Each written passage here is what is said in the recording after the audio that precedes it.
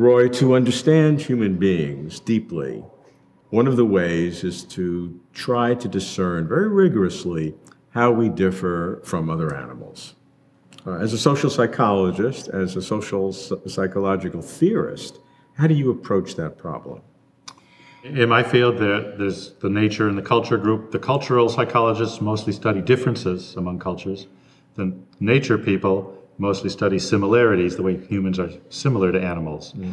Uh, I think if you want to understand what makes us human, you should switch those, look at how all cultures are the same, or most cultures are the same, and how humans differ from animals. And those are the keys to specifically human nature. Mm. Uh, and it is clear that although we are animals, when we are similar in many other respects, we differ in crucial ways. Uh, we live uh, uh in, in, in, a kind of culture uh, where the environment is all based on shared understandings. We have progress in a way uh, that other animals don't. Wolves, for example, very social animals. but each generation of wolves pretty much starts over. Uh, a bunch of wolves out in the woods are not living very differently from how they live, lived 10,000 years ago. Whereas uh, it's because all the learning that's accumulated is just accumulated by individuals. When the individual dies, the, the new babies are starting over getting their own learning.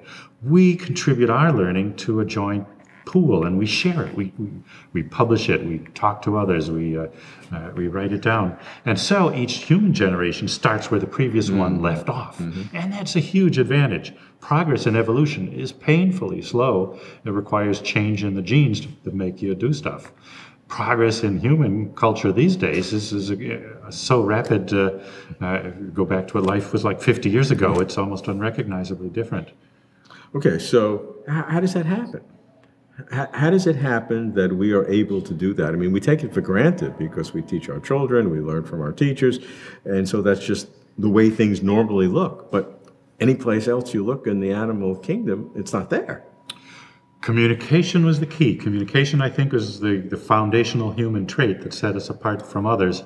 Uh, that we communicate, you know, and we begin to represent that other people's minds have different ideas than ours do, and so we can argue with them, we can teach them things, we can tell them helpful things that they seem not to know, uh, we can make inferences about their mental states. Uh, all this minimal or entirely absent in other species, uh, a few just tiny few steps in that direction. But that enables us to share information, to create social systems, to plan collectively so that, uh, uh, you know, early humans planning to hunt together.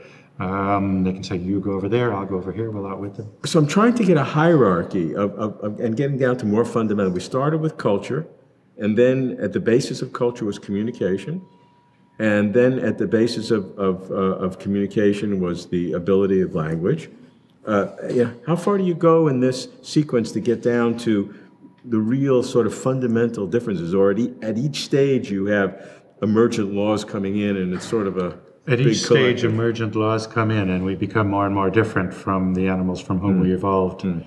Uh, if you looked at the simplest, uh, earliest humans, uh, their lives were somewhat uh, much more animalistic, and if we looked at back, we would say that's living like animals. Uh, it was probably a step or two forward, but uh, yes, we have you know, ways of prolonging our lives now. No other species has uh, prolonged its life expectancy by virtue of its uh, discoveries, whereas we've what, roughly tripled the human life expectancy because of research and advances in health and medical technology and uh, now behavioral changes in uh, how to live better and eat better and all those things. We've improved our actual lifespan. That's uh, that's remarkable, but that's that's unique. Uh, yeah, and the question is, is is what drives that? What are the fundamentals that drive that? Is it is it a theory of mind uh, where we know that other minds exist, a capacity for language, uh, uh, and how all, what are the fundamental building blocks that enable this hierarchy of culture to develop? Uh, there are multiple things that go into making culture possible, uh, several of which uh, you just mentioned. Um, but know, once you understand that others have mental states, that you can communicate to them, then there's a reason to improve your means of communication. People started developing better gestures. Uh, and then when the voice box moved down, then we started developing language. Uh, once we did that, then we could share more language. Uh, and so language gradually expanded from a few grunts and signals uh, to the, uh, the modern languages, which have uh, arguably a couple hundred thousand words each. Um, beyond language, uh, we can share ideas, we can argue about them. Uh, there's a very important paper uh, published a couple years ago looking at all the research on thinking and all the mistakes people make and say, well, those are only mistakes uh, if you assume that thinking is for figuring out the truth, like a solitary animal. But if you say thinking is for arguing, then those aren't really mistakes, where you look for arguments that fit your side rather than against.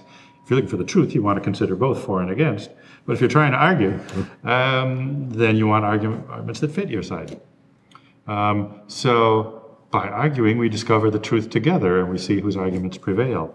Uh, that's better for all of us.